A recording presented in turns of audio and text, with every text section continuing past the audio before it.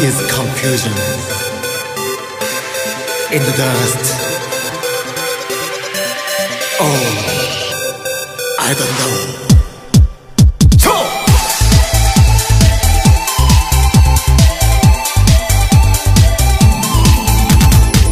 Hey salut à tous et à toutes, aujourd'hui on se retrouve pour vidéo. Alors comme vous le voyez, j'ai pas de fond vert, tout simplement parce qu'on est en période de confinement, je ne vous apprends rien, du coup on est à 5, du coup ça m'est très compliqué d'accéder au fond vert, tant pis. Donc je filme dans ma chambre d'adolescente, yes, on adore. J'allais quand même pas pénaliser mon rythme de vidéo, c'est pas grave. Aujourd'hui on se retrouve pour une vidéo recommandation livresque spéciale confinement, voilà ne commandez pas sur le grand A, il n'a pas pour l'instant besoin de votre argent. Et puis aussi le confinement, je sais qu'il y en a certains qui sont pas concernés parce qu'ils nous aident. Il va y avoir qu'on respecte les consignes, etc. Mais pensez quand même un petit peu aux livreurs. Je pense que vous avez suffisamment déjà dans votre pile à lire, mais si c'est pas le cas, bah, cette vidéo est faite pour vous. On va parler aujourd'hui de romans, trois romans qui sont tombés dans le domaine public. Qui dit domaine public dit effectivement que le livre est disponible en intégralité et gratuitement tout simplement parce que leurs auteurs sont déjà décédés il y a plus de 70 ans au moins. C'est la règle d'or pour qu'un livre tombe dans le domaine public et comme vous en doutez il s'agit de lecture classique. Alors oui j'ai déjà sorti une vidéo sur ma collection classique mais vous allez voir que ces trois livres là je les ai pas achetés mais je les ai déjà lus et d'ailleurs vous aussi vous pouvez les lire en ligne et d'ailleurs je vous mets les liens dans la barre d'infos.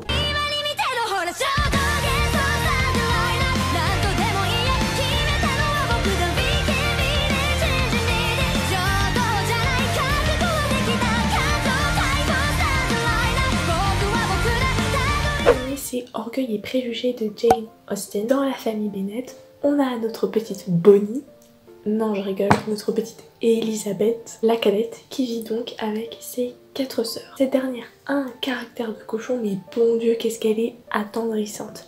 Comme vous le savez, on est au 19e siècle et donc à ce moment-là, la place de la femme est pas vraiment tip top et la seule utilité que on donne à la femme, c'est de faire un bon mariage pour agrandir les familles, qu'il y ait un intérêt financier et puis un autre intérêt, c'est-à-dire procréer. dit cette famille compte 5 filles et qu'elles arrivent quand même à un âge où la plupart sont déjà mariées et elles, elles ne le sont pas.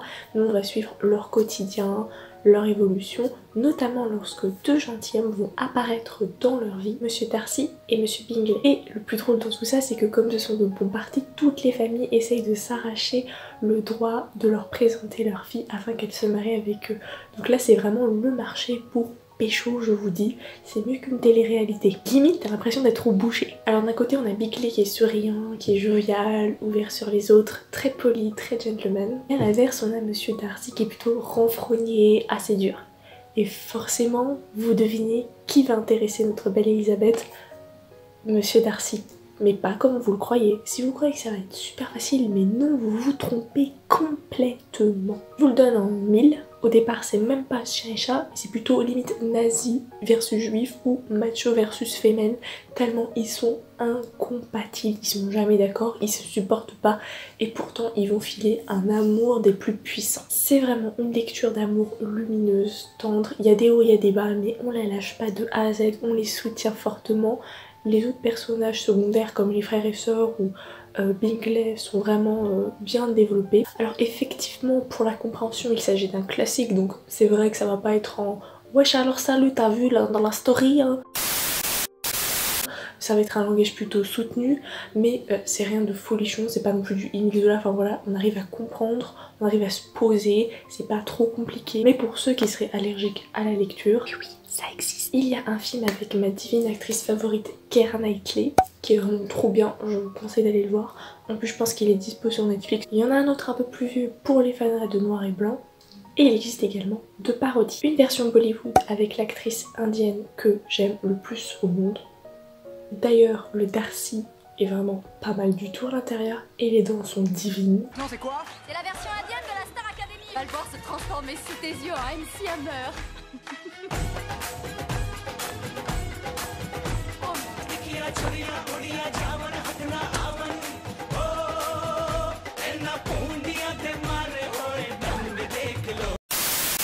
Et une version avec des zombies. Alors là, ou faut kiffer parce qu'il y en a vraiment pour tous les goûts dans ces adaptations, ou vous tombez en dépression parce que bah eux ils ont des zombies et puis nous aussi on a notre propre apocalypse en ce moment. Deuxième roman que je vais présenter, vous pouvez pas faire cette vidéo en vous parlant de Orgueil et Préjugés et en ne vous parlant pas des hauts de Hurlevent. Pourquoi? Tout simplement parce que Jane Austen qui a écrit Orgueil et Préjugés est en vérité la sœur de celle qui a écrit Les hauts de Hurlevent. Truc bizarre, hein, dans toute la fratrie, Jane Austen c'est ma favorite. Par contre de toute la fratrie, l'œuvre que je préfère le plus c'est Les hauts de Hurlevent qui a été écrit par sa sœur. Est-ce qu'il y a une logique chez moi Non. Donc oui, Emily Brontë qui a écrit Les hauts de Hurlevent, c'est la sœur de Jane Austen. Qui est une Brontë aussi. Les pseudos du coco I'm in love with the coco. I'm in love with the coco. Blague de pauvre. C'est une histoire d'amour et de vengeance sous fond de paysages sauvages en Angleterre. Monsieur Earnshaw est le père de Hindley, un garçon, et de Catherine, une fille, en toute logique. Non mais je préfère prévenir parce que dans Thérèse Raquin de Émile Zola, son mari s'appelle quand même Camille. Voilà, je veux bien que Morgane soit mixte, mais Camille donc ce monsieur Rancho arrive un soir avec un bébé et c'est le fameux Heathcliff. C'est très stylé comme prénom. Quand il va grandir, il va tomber amoureux de Catherine, tandis que bah une rivalité va s'installer entre lui et Hindley, qui est le frère biologique de Catherine. On va plus se dire que Hindley a une haine incommensurable envers Heathcliff et Heathcliff, et c'est vrai que c'est un beau petit bout, enfin il est vraiment cool. Tant vous dire que pareil que dans Henri et Préjugés, l'amour qu'il va y avoir entre Catherine, Catherine et Heathcliff va être des meilleures passions qui existent, elle va être embrasante, mais forcément ça va pas être au goût de tout le monde, à commencer par Ingley le frère biologique, qui au passage causera la perte psychologique d'un certain nombre des personnages. Un petit côté donc orgueil et préjugé, au passage un peu plus tortueux certes, mais vraiment un plaisir de lecture que tu ne lâches pas. Autant même vous dire que c'est un chef-d'œuvre de littérature anglaise et même mondiale et je pèse mes mots. Pour ces adaptations, on a évidemment le film de William Wyler, mais il est un peu vieux, je crois qu'il date des années 40. Il était assez axé sur la relation passionnée de Cathy et de Heathcliff et c'est pour ça que je vous le présente parce que du coup, pour les fans de romance, c'est nickel. Le truc c'est que la réalité du roman, elle est tout autre. Elle est beaucoup plus sombre, plus cruelle, plus profonde et même parfois à base de maltraitance physique, d'obsession dévorante et d'isolation totale. Eh, isolement, confinement, ça vous dit rien? In love.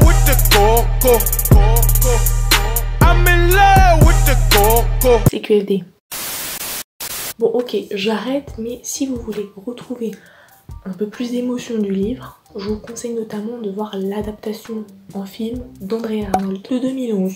C'est mieux pour vos petits yeux. En plus, particularité, c'est que les acteurs choisis ont l'âge des personnages parce qu'on a tendance à l'oublier, mais ils ont 19 ans. Enfin, c'est le chiffre que j'ai choisi vous comprendrez pourquoi, ceux qui ont déjà lu le livre ont la référence. Par contre, petite innovation, Heathcliff est noir. Alors personnellement, je n'ai pas du tout, euh, ça me dérange pas, hein. je n'ai aucun grief euh, envers ce choix-là. Au contraire, j'adore les acteurs euh, noirs, il y en a de plus en plus dans les films, j'adore ça, ils jouent vraiment super bien. Aussi quand je vois des couples mixtes, que ce soit un noir ou une noire avec un blanc ou une blanche, des asiatiques, des métis, tout ça, tout ça, j'adore. Ce sont vraiment de très très bons acteurs. Ce qu'il faut dire par contre, c'est que évidemment, dans euh, la version euh, littéraire, euh, n'est pas du tout noir, hein. il est bien blanc. Il y a également une version japonaise, mais là, est-ce que je vais vous la conseiller? Parce que 1, les 88, 2, elle est ultra sombre et c'est plongé dans le Japon du Moyen-Âge, donc tu peux dire bye bye l'Angleterre. Et bah, quand même, si ça vous intéresse, ça s'appelle Onimaru. Mais on s'éloigne légèrement du sujet principal. Et maintenant, je pense que vous avez compris pourquoi je préfère les hauts de Hurlevent, tout simplement parce que je suis du côté dark de la force. De l'autre côté de la force, je préfère beaucoup plus un roman noir et obscur qu'un roman doux, lumineux, comme Orgueil et Préjugés.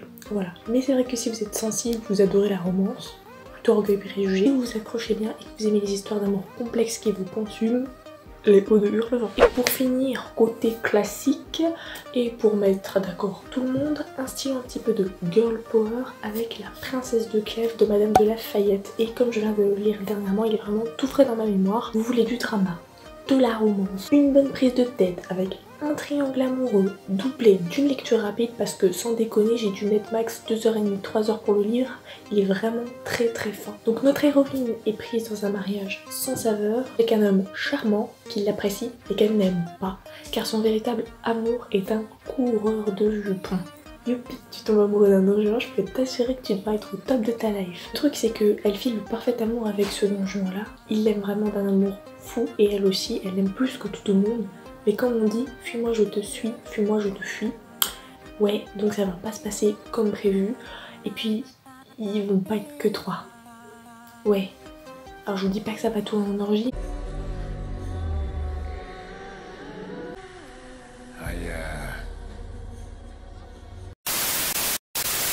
C'est pas loin mais je peux pas vous en dire plus sans vous spoiler le livre donc j'ai pas trop envie. Je vous dirai juste de le lire. Pour terminer cette vidéo comme je sais que ici notamment vous êtes là pour tout ce qui est manga je peux que vous conseiller eh bien de lire les grands classiques. Par exemple pour ma part ça a été le moment de me remettre à fond dans les One Piece de commencer les Naruto parce qu'effectivement je les ai commencés en animé mais en manga c'était pas le cas.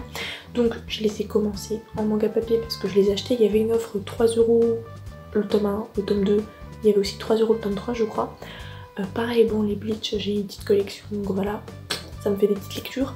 Puis comme c'est des must-have, vous pouvez les trouver sur internet en scan. Il y a le scan de Kimetsu no Yaiba qui arrive bientôt à sa conclusion. Je ne peux que vous conseiller les affrontements avec Musan. Mais je vous jure, c'est trop trop bien. Un vrai délice. Donc la lecture en ligne, c'est vraiment ce qui va vous permettre euh, bah, de découvrir des choses, d'attaquer des challenges, etc mais surtout respectez les règles de confinement, c'est fait pour vous, je peux vous assurer, il y gens qui travaillent dans le milieu, ce qui me rapporte, ça fait vraiment peur, j'espère que ça vous, ça vous arrivera pas. Sur ce, ciao